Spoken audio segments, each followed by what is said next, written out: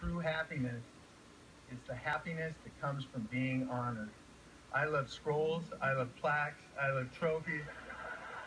I got a building named after me. Someone actually once said, a good deed is its own reward.